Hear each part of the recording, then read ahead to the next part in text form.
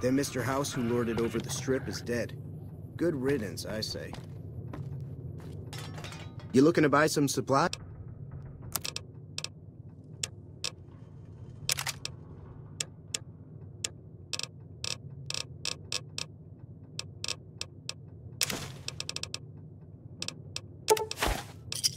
Give me a shout if you need anything else. Take it easy now.